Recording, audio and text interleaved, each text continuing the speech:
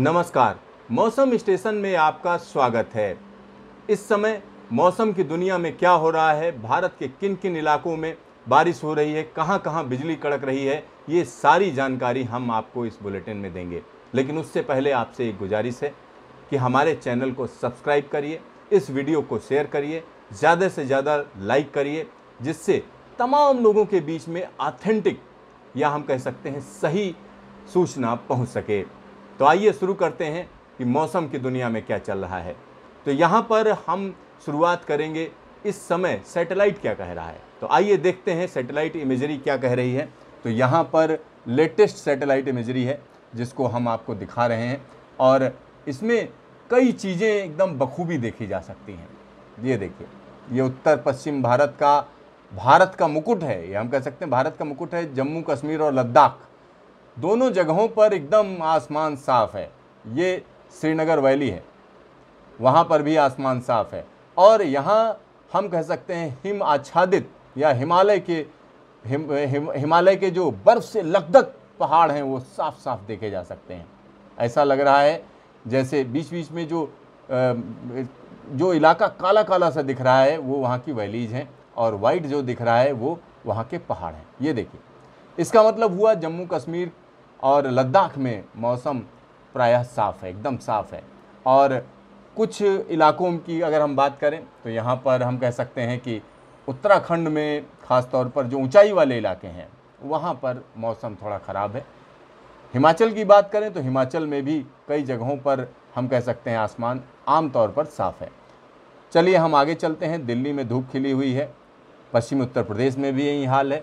और अभी की बात करें तो राजस्थान में भी यही स्थिति बनी हुई है। मध्य प्रदेश को देखें तो मध्य प्रदेश में हम कह सकते हैं कि एक बड़े इलाके में, भोपाल और आसपास के इलाके में बादलों की आवाजाही है, चहलकदमी है और साथ ही साथ प्रयागराज के ऊपर भी बादल आ रहे हैं और जा रहे हैं। तो पूर्वी मध्य प्रदेश के कई इलाकों में हम कह सकते हैं कि बादलों की आवाजाही है। दूसरी तरफ़ अगर आप देखेंगे तो यहाँ पर कोंकण गोवा, खासतौर पर सूरत बलसाड़ की बात करें। सूरत और बलसाड़ के तमाम इलाकों में यहाँ पर अच्छी खासी एक्टिविटी है। मुंबई की बात करें तो मुंबई जो है, मानसून एकदम वहाँ पर अपने कदम रख चुका है। कई इलाकों में बारिश कर रहा है। ऊपर की बात करें तो ऊपर आप देख सकते हैं कि किस तरीके से, ज़बरदस्त तरीके से यहाँ पर क्लाउड एक्टिविटी है। तो महाराष्ट्र के कई इलाके में इस समय बारिश रह रह कर हो रही है। और आने वाले 12 से 24 घंटे हम कह सकते हैं ये बारिश और ज़्यादा बढ़ेगी। अगर हम कर्नाटक की बात करें तो कर्नाटक में भी बादलों की आवाजाही है और केरल में थोड़ा सा बारिश कम हुई है, यानी अब थोड़ा सा एक्टिविटी कम हो रही है। चलिए, अब हम बात करते हैं एक ऐसे इलाके की जिस पर सबकी नज़र है। यहाँ पर अगर हम पूर्वोत्तर भारत की बात करें तो यहाँ बादलों की धमा चौकड़ी बढ़ चुकी है, ज़बरदस्त तरीके से बढ़ चुकी है। तो यहाँ आप देख सकते हैं कि बादल हैं और हम कह सकते हैं लो लाइंग बादल भी हैं। और साथ ही साथ तीन से चार किलोमीटर की ऊंचाई वाले बादल भी यहाँ पर देखे जा सकते हैं।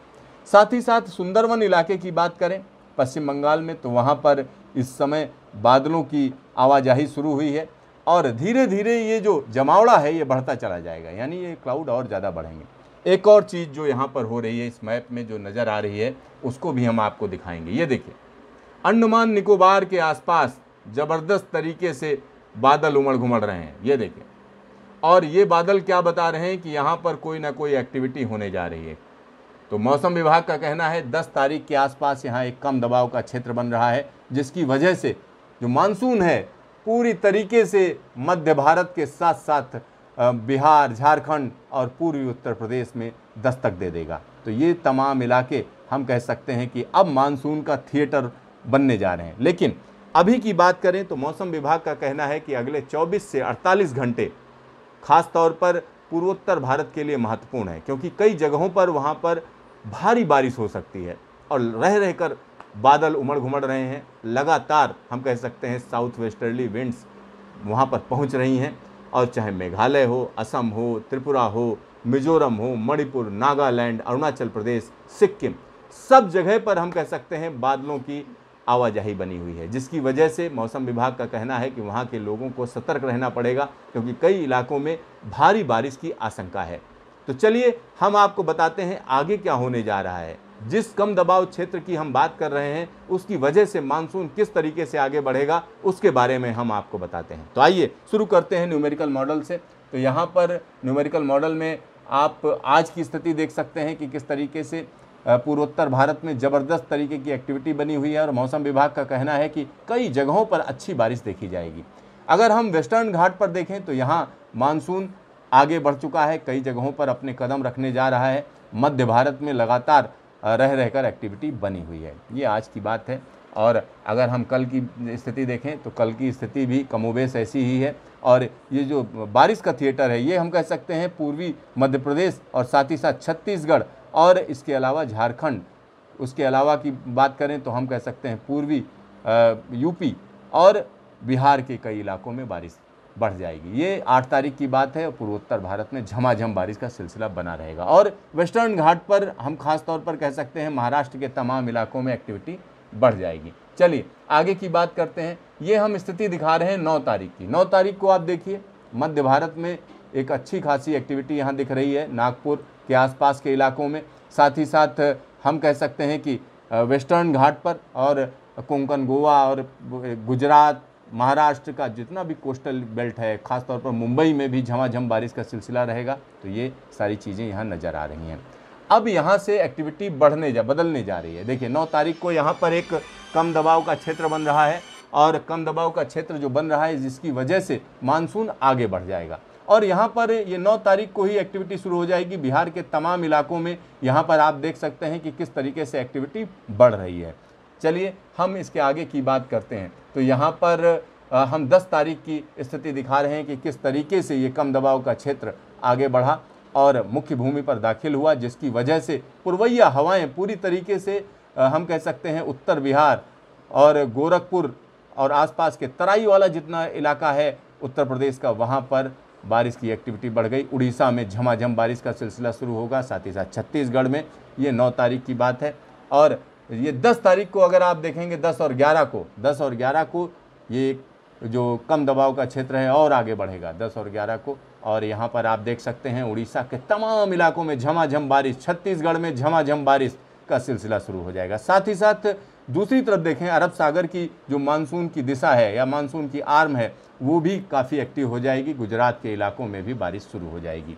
और यहाँ पर जो स्थिति दिख रही है, उसमें हम कह सकते हैं, बारह तारीख की स्थिति देखिए, किस तरीके से छत्तीसगढ़ में बहुत अतिवृष्टि होने की बात कही जा रही है, बहुत ज़बरदस्त तरीके से बारिश होगी। और यहाँ पर अगर हम देखें, बिहार, उत्तर प्रदेश के साथ साथ दिल्ली, हरियाणा और हम कह सकते हैं उत्तराखंड, यहाँ पर मानसून पहुँच जाएगा, ऐसा दिख रहा है, ऐसा नज़र आ रहा है। तो ये पॉसिबिलिटी बन रही है कि इस बार हो सकता है कि मानसून 12 जून के आसपास ही दस्तक दे दे उत्तर भारत में, कई जगहों पर। तो ये स्थिति हम कह सकते हैं लगातार मज़बूत होती हुई। ये देखिए, ये तेरह तारीख की स्थिति दिखा रहा है और एक ऐसी वेव बन रही है जिसमें दिल्ली, राजस्थान, मध्य प्रदेश, इन सारी जगहों पर मानसून समय से पहले दस्तक दे देगा। ऐसा लग रहा है और जो न्यूमेरिकल मॉडल है, वो यही दिखा रहे हैं। यहाँ देखिए, चौदह तारीख को हम कह सकते हैं दिल्ली, राजस्थान में भी मानसून पहुँच रहा है। और ये स्लो मूविंग सिस्टम है, जिसकी वजह से ये एक बड़े इलाके में बारिश देगा। तो ये चौदह तारीख की स्थिति है और साथ ही साथ यहाँ देखिए किस तरीके से स्ट्रांग हो रहा है। और ये स्थिति ज़बरदस्त है। ये देखिए, पूरे भारत में खास तौर पर पंजाब में भी हम कह सकते हैं पंद्रह तारीख को मानसून की हवाएँ पहुँच जाएँगी। तो ये एक बड़ा डेवलपमेंट होगा और उस समय, यानी पंद्रह तारीख के आसपास यहाँ पर एक वेस्टर्न डिस्टर्बेंस भी है, जिसका इंटरेक्शन होने की संभावना भी ये न्यूमेरिकल मॉडल जता रहा है। और यहाँ देखिए, किस तरीके से, यानी पंद्रह और सोलह तारीख को बिहार और आसपास के इलाकों में झमाझम बारिश, उत्तर प्रदेश में झमाझम बारिश और एक बड़े इलाके में, हम कह सकते हैं वेस्टर्न घाट में भी ज़बरदस्त तरीके से जो बादलों की आवाजाही बनेगी। तो ये मॉडल जो कह रहा है, यानी जो दशा दिशा दिखा रहा है मानसून की, वो ये दिखा रहा है दस तारीख के बाद मानसून की हवाएँ काफ़ी स्ट्रांग हो जाएँगी और इस तरीके से चलेंगी कि पश्चिम बंगाल, उड़ीसा, छत्तीसगढ़, झारखंड, बिहार होते हुए उत्तर प्रदेश में दाखिल हो जाएँगी। और जो ये मॉडल दिखा रहा है, उसके हिसाब से लग रहा है कि इस बार दिल्ली और आसपास के इलाकों में मानसून समय से पहले दस्तक दे देगा। लेकिन ये हम कह सकते हैं मौसम का मॉडल है। इसमें अभी बदलाव भी हो सकते हैं। तो क्या चेंजेज होंगे?